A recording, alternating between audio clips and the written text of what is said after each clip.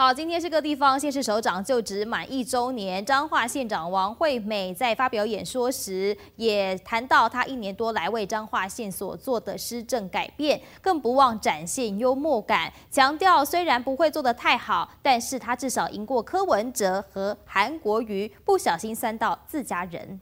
要深深的谢谢各位乡亲过去的一个支持。彰化县长王惠美就职满一周年，在县府中庭发表演说，一开口先感谢乡亲支持，接着点名台北市长柯文哲。台北市长柯文哲他就警告彰化县是下一个会破产的县市，虽然县政困难，但是我认为没钱不是不花钱。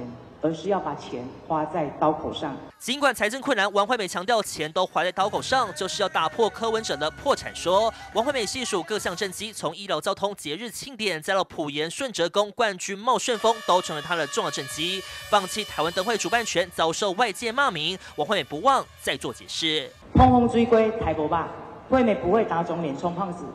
财政困难，我选择放弃台湾灯会的主办权。强调不会打肿脸充胖子，但至少接下来这项调查结果让他很满意。施政的满意度当然也不会太好看，不过我跟大家报告，我还赢韩国瑜，赢柯批。执政满意度大赢两位直辖市长，王惠美狂打柯文哲，却也算了自家人韩国瑜。疑似发现说错话，王惠美下台受访，急忙解释：人越多的话，你要得到的满意度当然是越不容易。那所以说，我们的人口数还没有人家的多啊。那我们会认真的在用最少的钱去做最多的事情。从上回立委候选人好次抽签，王惠美一时口误，高喊支持宋楚瑜，到这次满意度赢过韩国瑜，虽然无心，但每每脱稿演出的王室幽默，总是让人替他捏把冷汗。借代容貌，彰化参谋岛。